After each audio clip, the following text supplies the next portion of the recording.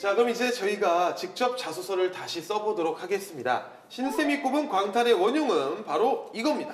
작은 변화에도 조원들과 소통하기 위해 노력한 덕분에 차량용 변속기 설계를 완성할 수 있었습니다. 여기가 저는 광탈의 원흉으로 좀 봤습니다. 음. 네, 뭐 내가 어떤 거를 맡았는지도 내용이 없었고 그렇죠. 노력한 덕분인데 예. 어떻게 뭐, 노력을 네. 했는지도 모르겠고 네. 내가 노력을 한 건지 다른 팀원이 노력하는 건지도. 모르겠고 그리고 소통을 잘했기 때문에 완성했다면 그 이 사람들은 원래 기술력은 대단한 사람들인데 이렇게 보여지잖아요 이게. 아. 이게 잘못된 거예요. 예. 한번 좀 가이드를 주시죠. 네. 네 한번 일단은 노력해 볼게요. 오늘은 네. 왠지 또 소영 씨가 정답을 쓸 것 같긴 아. 한데 오늘 보니까 좋아. 아 예. 이거 어. 너무 어려. 아, 어. 한번 열심히 해보겠습니다. 어.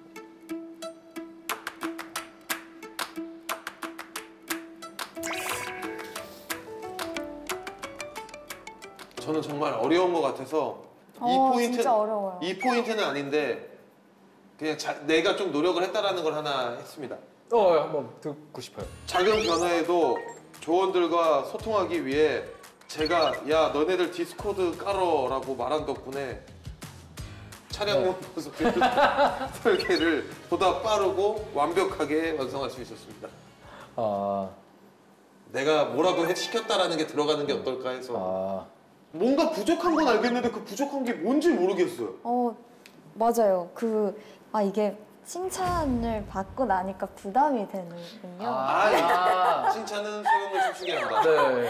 근데 이게 만나기 힘든 상황이었잖아요. 네. 그러니까 이거를 이제 새로운 기회로 만들어서 이제 아 소통하기 위해 노력했다라고 한번 머릿속을 아, 네, 지금 구상하고 있는데 칠공주 커튼콜 할 때보다 더 많은 긴장을 하고 있어요 지금. 지금 사실 아, 저희 네. 지금 예, CG로 지금 네. 백기 이렇게 흔들고 있는 거안 예, 보이시나요? 예, 아, 상당히 예, 어려움이 느껴집니다. 예, 이거는 좀 안 되겠어요. 이거는 아. 예, 저희 아이템 좀 쓸게요 오늘 선생님 어, 아이템. 자 일단은 작은 변화에도 자, 조원들과 소통하는 거를 구체적으로 쓰는 거죠. 자 작은 변화에도 함께 노력한 소통으로 음. 그죠? 자 전문 지식이 부족한 상황에서도 서로 보완을 해주며 이걸 노력한 덕분이죠. 아, 네, 전문 차라- 지식이 그쵸. 부족한 상황에서도. 차량용 변속기를 함께 어, 설계를 완성할 수 있었습니다. 이렇게 쓰면은 오히려 구체적으로 잘 쓰게 되겠죠. 야, 그냥 저희가 당연히 생각했던 내용을 그냥 더 아, 구체적으로 그러니까요. 거네요. 네네네. 와. 어렵게 생각하지 마세요. 진짜 이게 진짜 네. 항상 저희도 잠깐 고민하고 이거에 빠지는 순간 정답을 놓치는 거죠. 어, 땡, 맞아요. 맞아요. 그러니까 이런 거예요. 그러니까 구체적으로 써라 그러면 대부분 취준생의 답은 글자 수가 되나요? 이 질문을 해요. 그 저는 답변해줘요.